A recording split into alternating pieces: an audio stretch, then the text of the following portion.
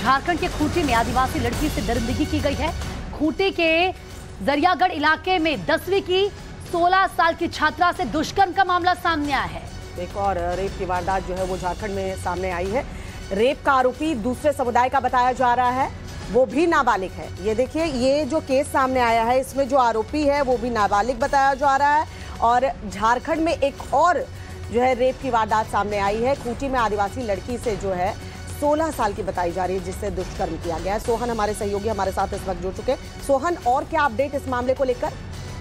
देखिए खूंटी पुलिस पूरे मामले की जाँच कर रही है और जो घटना है खूंटी के कर्रा थाना क्षेत्र के जरियागढ़ इलाके की घटना है, जहाँ दसवीं में पढ़ने वाली सोलह वर्षीय कितनी जो छात्रा है, उसके साथ दूसरे समुदाय के युवक ने दुष्कर्म किया था और उसके जबरन उसका दुष्कर्म किया था। घर वालों को इस बात की जानकारी तब हुई जब लड़की गर्भवती हो गई और उसने इस बात की जानकारी अपने परिवार वालों को दी। परिवार वालों ने भी उस लड़के के परिवार वालों से संपर्क किया, लेकिन उसके परिवार से लड़की घर तक कोई नहीं पहुँचा। तब जाके लड़की के परिवार वालों ने मामला दर्ज कराया और पुलिस इस पूरे मामले की जाँच शुरू कर दी और पुलिस ने आरोपी युवक को अरेस्ट करके रिमांड होम भेज दिया। इसलिए कि दोनों नाबालिग और पुलिस का कहना है कि इस पूरे मामले की जाँच की जा रही है और लड़की का मेडिकल रिपोर्ट भी करा के भेजा गया है।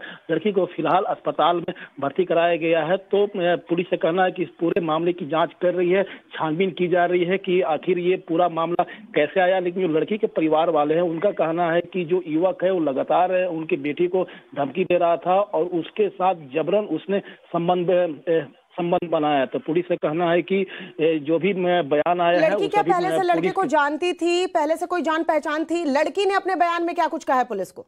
देखिए जो लड़की है उसने अपने बयान में कहा है कि वो लड़के को नहीं जानती थी और किसी तरह अचानक उसके संपर्क में आई और लड़के ने उसके उसे झांसे में लिया और झांसे में लेकर उसके साथ संबंध बनाया और संबंध बनाने के बाद जब वो गर्भवती हो गई तब इस पूरे मामले की जानकारी घर वालों को ही तो लड़की का साफ़ तौर पर कहना है कि लड़के को पहले से वो नहीं जानती थी। जब वो किसी काम से बाहर जाती थी तो तो, तो वो लड़के के संपर्क में आ गई और लड़के ने झूठ साठ किसी तरह के वादे करके उसके हम्म। झांसे मिली है और, और उसके बाद उस लड़के ने उसके साथ दुष्कर्म किया है। ठीक है। सोहन बहुत बहुत शुक्रिया आपका तमाम जानकारी देने के